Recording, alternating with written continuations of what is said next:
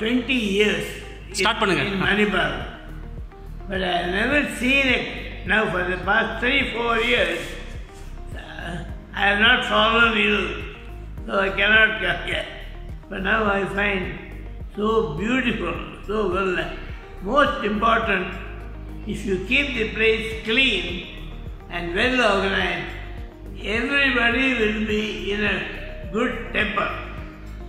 Crowd of 200 uh, into a small hall, nobody is in a bad temper. So that, that's a good thing going on. My injection, I don't know what that girl did. She did something. Actually, she does it in two stages. First this thing and then and then rest of it. Well done, well done.